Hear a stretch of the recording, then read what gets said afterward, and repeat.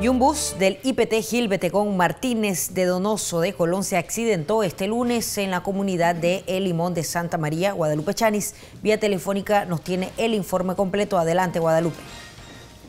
Buenos días, eh, del Linda, amables televidentes. Efectivamente, como lo mencionabas, un bus del IPT Gil Betecón Martínez de Donoso de Colón se accidentó donde se conoció que la conductora de 36 años, única ocupante, regresaba de abastecer el bus de combustible en el cruce de Ocu y al parecer perdió el control y se salió de la vía donde fue a dar a un precipicio. Afortunadamente la conductora solo sufrió heridas leves, mientras que los estudiantes que participan de las Olimpiadas Agropecuarias y Forestales se encontraban en el IPTA de los Llanos de Ocu donde se realiza esta actividad. La joven fue trasladada por de la Policía Nacional en un patrulla al Hospital Sergio Núñez Núñez del distrito de Ocu donde fue dada de alta. Pero Escuchemos las declaraciones del director del IPTA de los Llanos, Cristóbal Morales.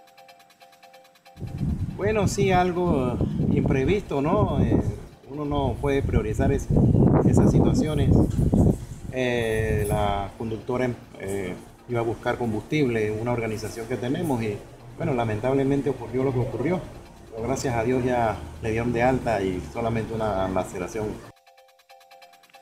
al lugar se presentaron unidades del tránsito quienes realizan las investigaciones de este accidente donde solo dejó pérdidas materiales. Esta es la información que tenemos desde la provincia de Herrera. Regreso con ustedes a los estudios, compañeros.